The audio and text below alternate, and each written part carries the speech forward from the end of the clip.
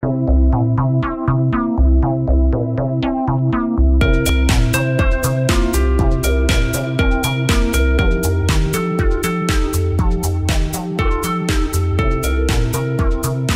Welcome to the Small Town Podcast. I'm Sara Roach Lewis, and today I'm actually going to be talking to you a little bit about mitigating the storm that can happen in your not for profit, some tips and tricks. So, a little bit about myself. I was um, invited to join the board of directors for Women's Network PEI so long ago that I was recruited for the youth voice. And I tell you, that is not a voice I hold any longer. I have a long history with that particular not for profit organization. Starting on the board, I was the board chair, then transitioned to paid employment, uh, moving through a project coordinator, project manager, and then I spent some time as the executive director.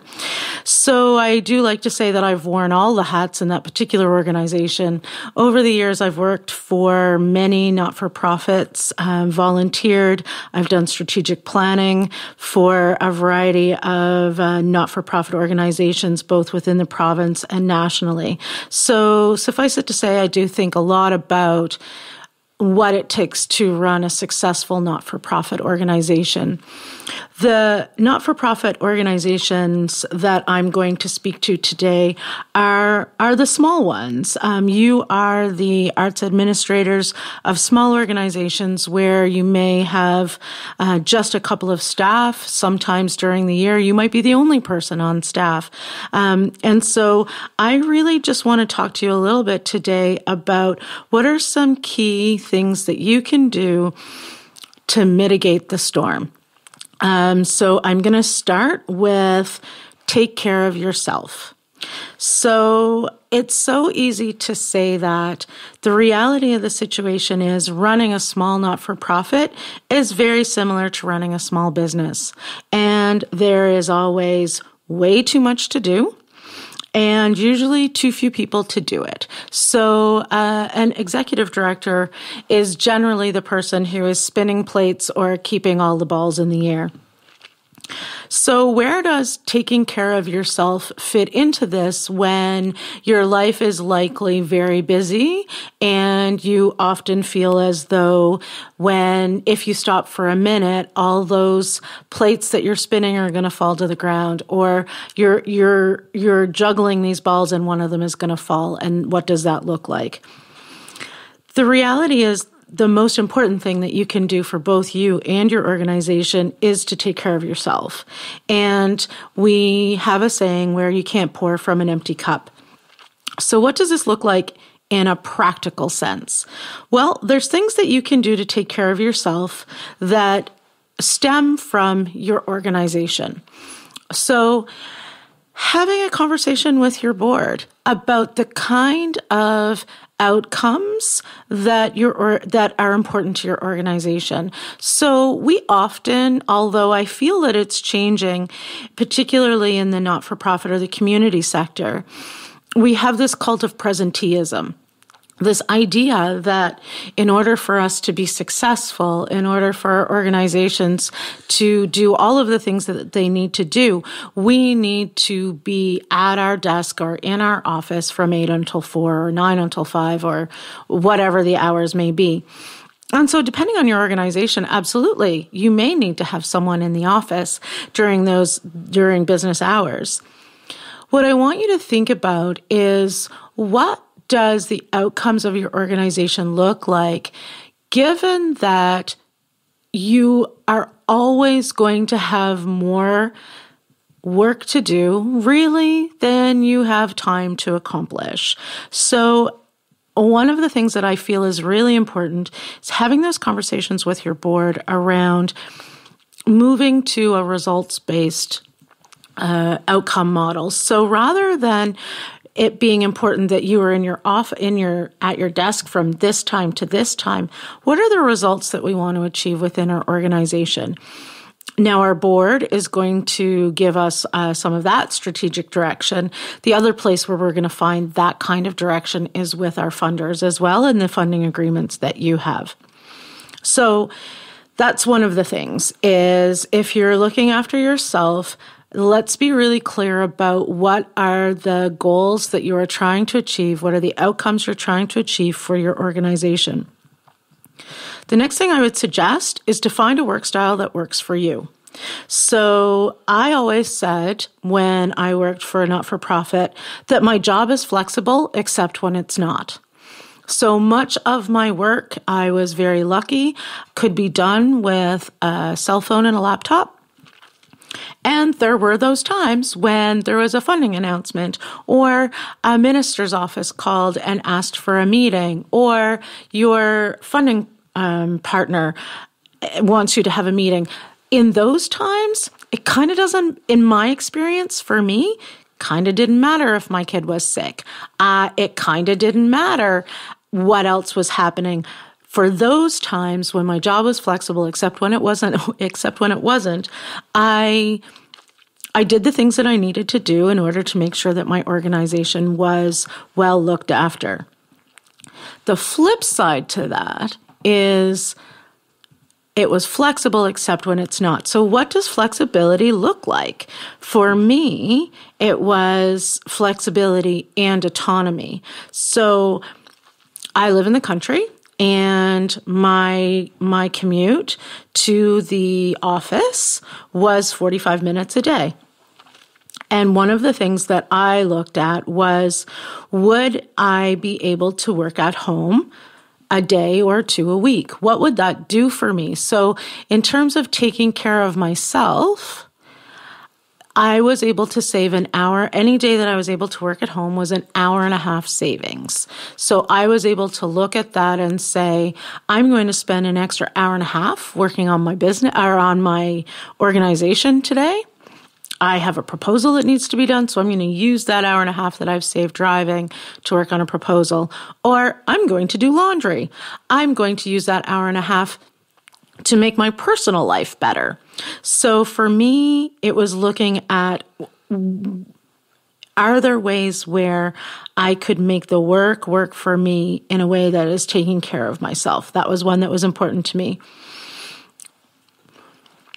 The other one is around um, recognizing the cadence of the work and building in the downtime. So we often have in our organizations, we may have events, we may have festivals, we may have big projects or programs that take up a lot of our time.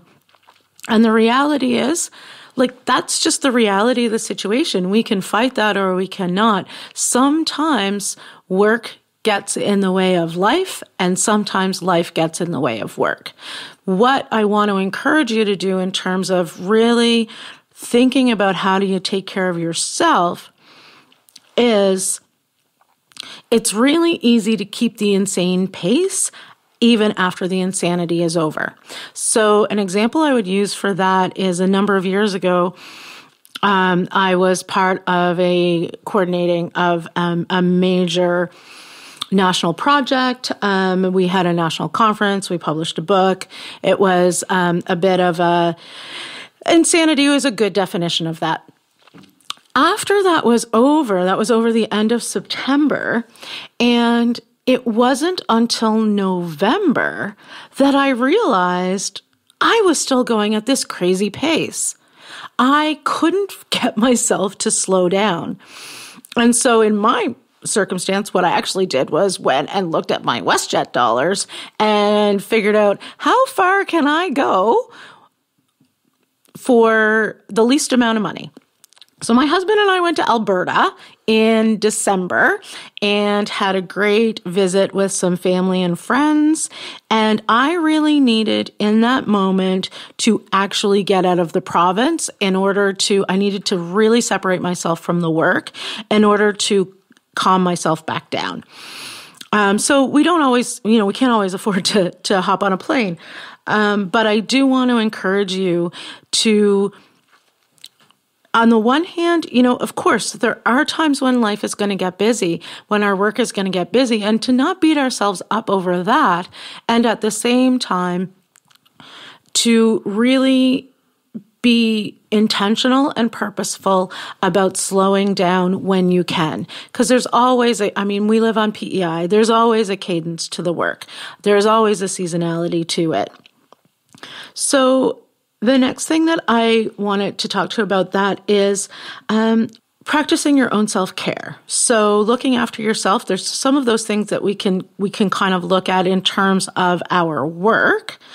And then there's practicing your own self-care. So whatever that looks like for you. And again, I as um, a super busy executive director many years ago, um, this was suggested to me, and I thought they were a loony. I don't have time for that. I don't have time. You know, I how do I how do I build this in?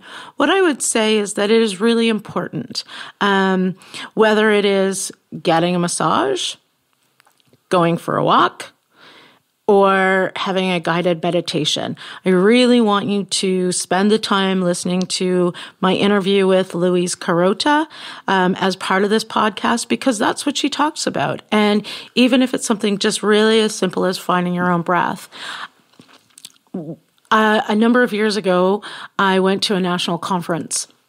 And one of the things that happens as people who attend national conferences on behalf of Prince Edward Island is we often end up feeling like the poor cousin that there are these um, national arts organizations or these national organizations that have budgets that are exponentially bigger than ours and have far more staff and you know really just looks amazing.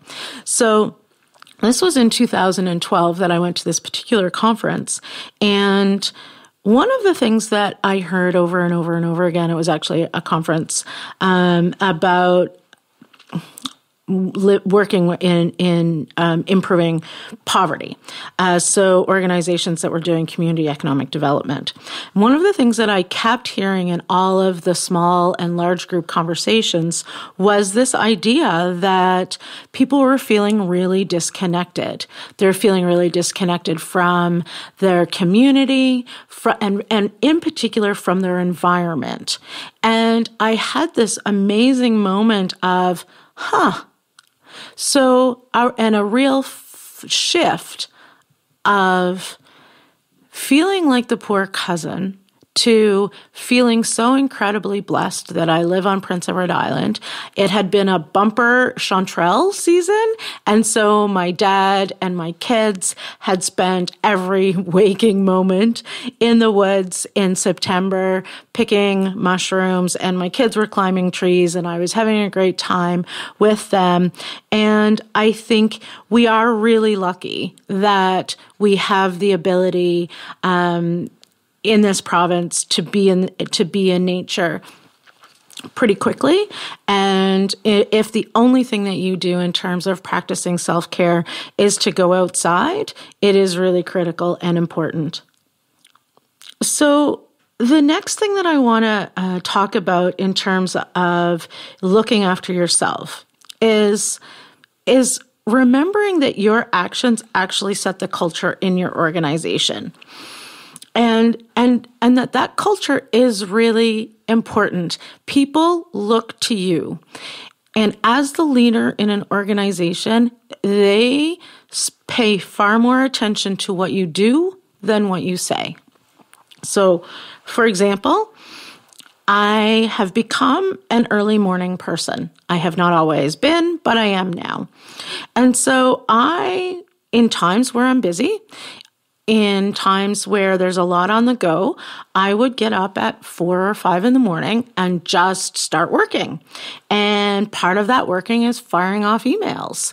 And what I realized is that that put a pressure on my on our staff on our you know on on board members that they felt that they needed to be Johnny on the spot, in particular with our staff, that they needed to be able to respond to these emails that I would send at four or five or six in the morning. The reality is, I would say, don't look at those. You don't need to say, I'm just up and I'm doing that. I don't have any expectation that you're doing that. The re- and what happens is it puts I'm, I was setting the culture by my actions and not by my words. They didn't necessarily see that I might start at four or five or six in the morning, but I'm done by one or two or three in the afternoon. They might not see that I start super early. And part of the reason why I do that is because I need to take one of my kids to the dentist or the doctor in the afternoon. So I really loved that having that flexibility and autonomy. And I also needed to recognize that it was impacting other people. So I'll talk a little bit more about how we can kind of work around that. The other thing about um, looking after ourselves as we sort of live through or mitigate storms is if you've got a team, leverage it. Doesn't matter if it's a big team or a little team. One of the things that I actually really hate is errands. When I go to work, I like to go to work, I like to sit at my desk, and I like to stay in my office until the day is over, and then I like to go home. And Yet, there's always the things that you need to do in the run of a day. In a staff meeting one time, what I discovered is one of my staff members loves running errands. And to her, that was a natural break that she needed in the day. And it, it, it did all kinds of good things for her. It was exactly what she needed. So we had this great ability then for me not to feel badly because I was asking her to run errands. I was actually doing her a favor and she was doing me a favor. So think about those ways that you can leverage your team. I am 100% all about high performance. People who lead organizations do it because they are passionate, they're dedicated, and they're ambitious. Um, one of the people that I had the pleasure of talking to in this podcast series was Rob Oakie from Music PEI. Uh, Rob obviously has a vision for his organization and an, and an ambition to bring local artists internationally that organization has increased um, the number of touring artists by 500% on PEI. That doesn't happen without punching above your weight. So I I believe that as um, arts organizations or as not for profits, we're doing this work because we're passionate about it, because we are ambitious and we want to see big things for our community and for our particular constituents. And key and critical to being a high performer is taking care of yourself. Um, and so, if you happen to be on a board and you're listening to this and you have um, in the in the past been pretty pleased with yourself because you've got this executive director or this you know key member of your management team who goes above and beyond and does all of the work and is incredibly responsive and, um, you know, probably does exponentially more work than they get paid for. I want to be very clear that that is not something to be proud of. Your role as a board chair is to make sure that your staff are doing their job. And part of your role is to make sure that they are not overdoing things. Um, it is a huge risk to your organization to have staff who are not looking after themselves and are approaching burnout. So again, depending on your governance structure as a board, um, you know, you may not dig too far into operations, which is totally fine. You can still be careful and ensuring that your executive director and um, is is making sure that um, staff are not approaching burnout, including themselves.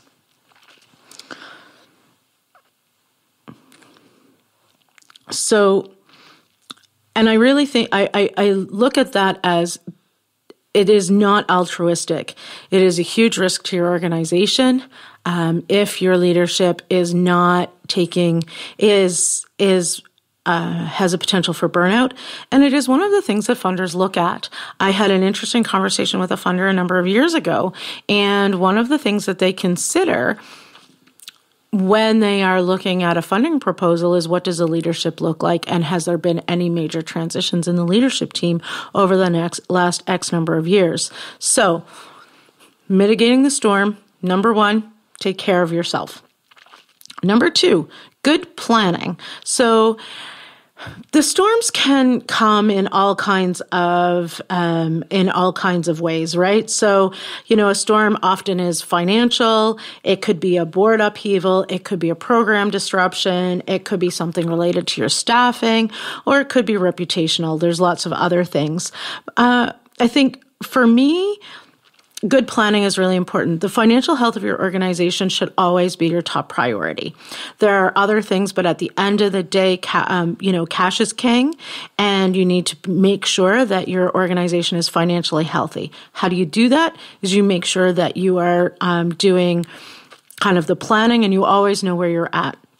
There's a difference between what that looks like for a project based organization and, a, and an organization that's got a little bit of core or operational funding. So, that good planning can look like ensuring that you've got diversified revenue streams, if at all possible. So, making sure that uh, some of your a portion of your revenues are coming from the federal, the provincial government. Um, perhaps you can get a little pots um, from the municipalities. There's uh, sometimes grants, whether or not you have charitable funding or charitable status or not, is going to impact your ability to get foundation money. And then there's also um, donations and how do you, you know, how do you diversify that within fundraising or donors to your organization? So the planning is what's going to help you allocate your resources properly. Um, and and again, one of the things that we know about good planning is that we can have cost savings if we're doing things um, uh, in, in plenty of time. Um, doing things last minute recognizing that oh dear i need this you know thing for my event that's tonight that's going to cost you more money in general than if you've planned ahead so what does that look like what does good planning look like well part of it is thinking through some of the other areas that we've talked about on this podcast. It's making sure that you really do have a good sense of the vision and the mission for your organization. That each of your projects that you're working on in your organization has a solid pl- project plan that has a communication strategy attached to it. As someone who worked in a project based not for profit for many years, I have a mixed relationship with strategic planning. Because sometimes um, you know, at the end of the day, you it, it's helpful to have a strategic vision for your organization, but the plan itself um, sometimes is really defined by your funders, defined by the work that you have to do in front of you, um, and you know, so so part of that is making sure that you don't end up with mission drift or mandate drift. But at the end of the day, you need some sort of overarching plan, and that's going to help um, help mitigate these times where things are not necessarily going as as well for your for your organization.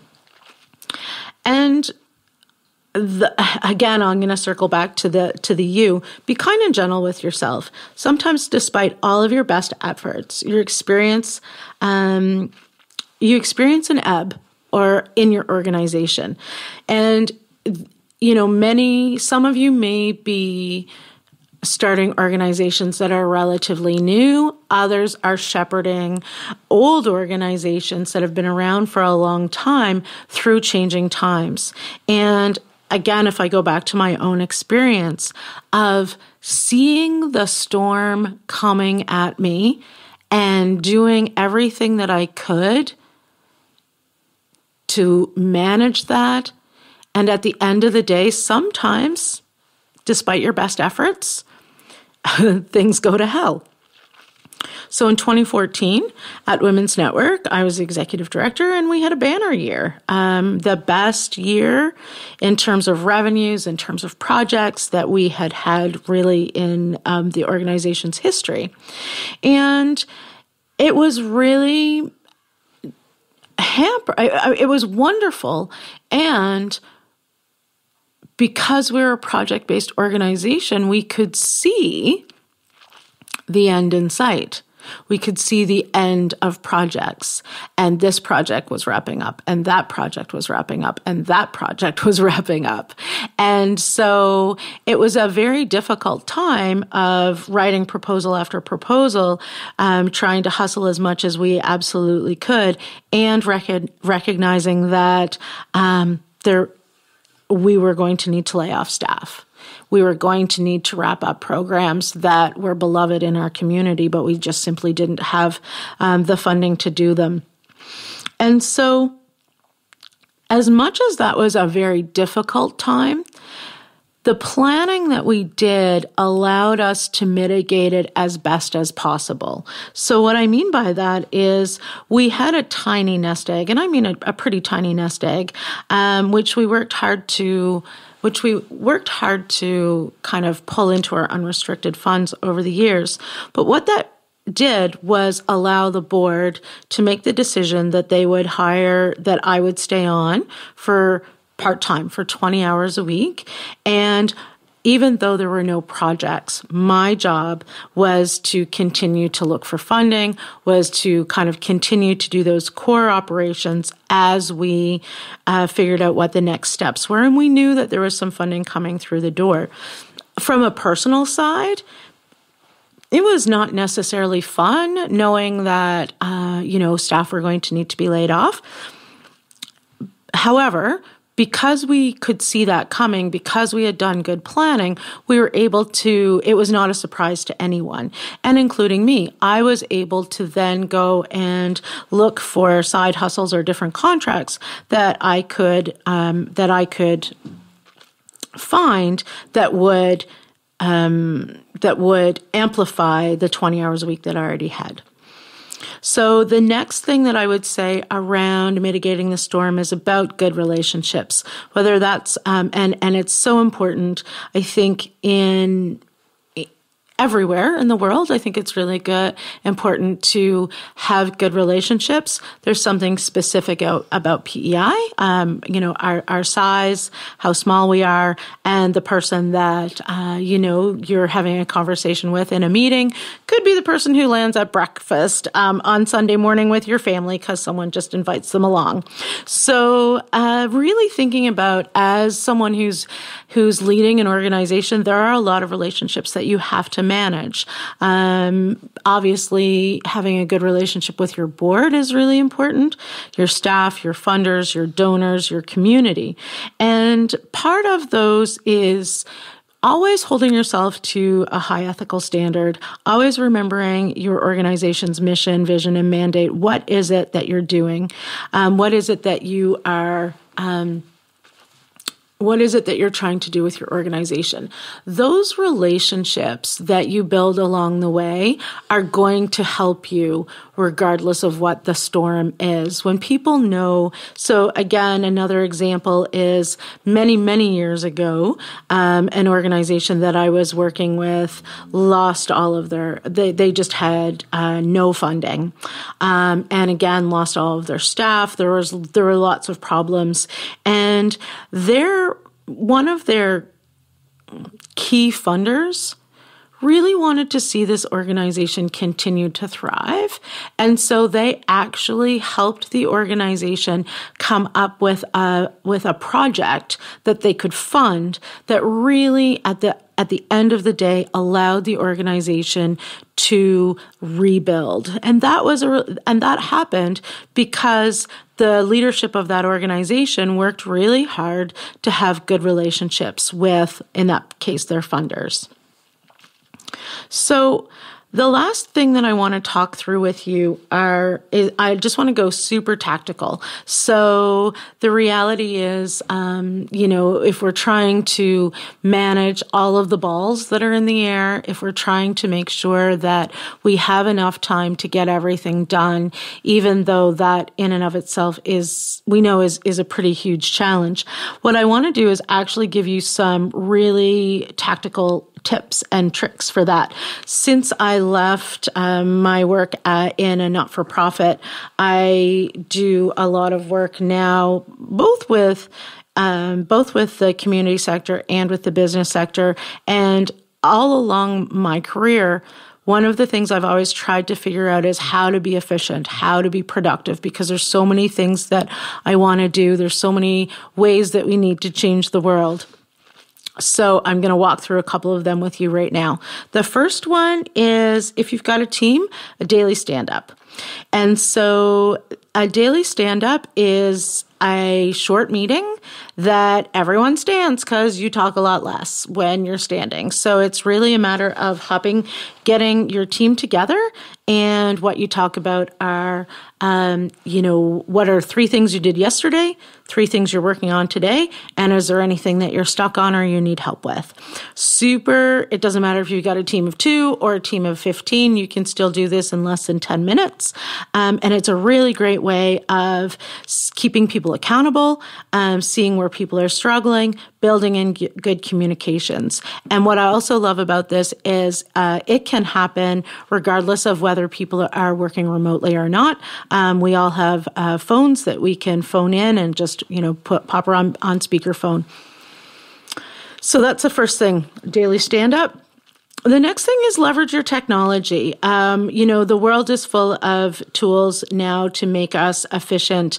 Um, and if we think about things like if we're working with a team, having shared drive uh, like a Google Drive or Dropbox, um, we live in a province where winters can be long and very difficult. Meetings can be held now um, on Zoom. Uh, there's lots of online meeting spaces. The one that I use is called Zoom. And even when you have really bad rural internet, which I used to have, uh, Zoom still tends to work pretty well. So again, um, if we are really busy, uh, there's tra- there's always travel time, um, and or if we want to avoid things like snowstorms in the wintertime, uh, planning to have Zoom meetings will will mitigate some of that the other thing I like to do is use calendar links. Uh, so, just in terms of being productive and uh, using your time wisely, just sending out a link to your calendar. Um, again, there's lots of them. The one that I use is called Calendly. And if you send a link to your calendar, then you can just say to the person that you're trying to meeting, meet with, um, you know, here's here are all of my available options. You just choose one that works for you. We can use doodle polls for planning meetings. There's all kinds of ways. Um, you know, there's all kinds of project management tools that we can use if we're doing a lot of teamwork. I also really encourage you to track your time. Um, particularly, we always say, you know, we're all we're all busy at the end of the day, we're all busy. I'm going to challenge you that you are probably not quite as busy as you think you are. And I'm going to say that because I've done this, challenged myself a number of times. So it's, um, I, I will include a link to a, to a easy Excel spreadsheet, um, in this, as part of this podcast. But essentially, you do Sunday to Sunday and you can decide. I like to track in 15 minute inc- increments and I really suggest people do it for a week or two. You, um, and I'll, I'll tell you that for myself, I thought that I was crazy busy and I thought that I worked 60 hours a week. And when I did this the first time, I worked 45 hours a week. So that's more than 40, but it is certainly not 60. And so I think tracking your time is going to then help you with the next um, recommendation or tactic that I, I suggest for you. And that is we all have 90 minutes a day that we are at our peak optimal performance. I want you to find that and then fiercely protect it. That is where you should be doing your most important work, whether it's your proposal writing or your grant writing or your program development or whatever that like really important work is to your organization. That's once you track your time, um, you'll start to see. So for me, it's early in the morning. Other people, uh, you know, their best time of day is in the afternoon. Other people, it's in the evening. So find your best 90 minutes and fiercely protect it. Don't have meetings. Just use that for the kind of work that is most important for you to do. The next suggestion that I have for you is to plan your day the day before. There's this great quote that either you you run your day or your day runs you. And again, I know that uh, in a in a small and busy not for profit, uh, we can very easily get distracted by the phone, or we can get distracted by email, or we can get distracted by someone popping into the office. And at the end of the day, if you plan your day the day before, so again, um, at the end of your day, what I tend to do is I'll just write down, you know, sort of the three or four key things that I got, uh, that I did. And then what are the three key things that I would like to do the next day? So what that does is it allows me, it, it prevents decision fatigue. I don't even have to think when I get to um, the office, or you know, in some cases that's my couch um, or my home office, or I, I I work in Charlottetown some days. On those days, I don't have to think about what I'm doing. I just open um, my agenda and I have already told, past Sara has told future Sara what she's doing that day. So that prevents the decision fatigue of having to figure it out. The other thing, too, is there are certain things that you can do to grease the wheel, um, particularly if what you have to do is something you don't really feel like doing. So, for example, if I know that I need to work on finances, then um, the night before I may open all of the tabs on my computer that I need. So it's all right there. The next tactic I would suggest for um, being efficient, which is going to, you know, kind of help you um, manage your days, is um, is what I call the 45-15. And so what I mean by this is we often work in co-work spaces or we work in environments where there's shared space. And the challenge with that, particularly if we're working in a creative in, uh, in a creative space, is you know sometimes people um, need to talk in order to get their work done, and sometimes that can be excessively distracting. So one strategy that I have used in a number of places where I've worked is that if you just look at the calendar, or if you look at the clock, the first 45 minutes of every hour is for dedicated work. And the last 15 minutes of the hour is for when I need to ask one of my colleagues a question or I want to, you know, kind of pop in and and brainstorm an idea or I want to find out if this date works best on their calendar. The reality is most of us do not work in life and death situations where a question can't wait 45 minutes at its max to be answered.